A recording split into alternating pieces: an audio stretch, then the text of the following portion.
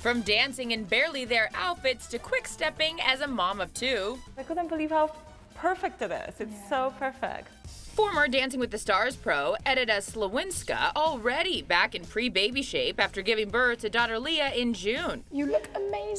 Thank you so much. I, I, I don't quite feel amazing. You know, I'm so sleep deprived and tired. How have you bounced back like this already after one month? Good genes because I haven't had time to exercise much. Edyta finding time to sit down with Terri, talking about big moments in her life and her dancing friends, Julianne Hough, walking down the aisle. I'm so happy for her. I've known her literally since she was 12. Yeah.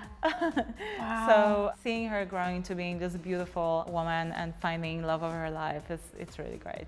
And Peta Murgatroyd and Maksim Chmerkovskiy tying the knot last month. I told Peta that she looked absolutely stunning, like a princess. It looked like a fairy tale wedding. Edyta living a fairy tale, married to former dancer Alec Mazo and mom to three and a half year old Michael and baby Leah. I'm a very hands-on mom. I'm very well organized person. I can handle a family of four, but I'm not gonna lie, it's tough.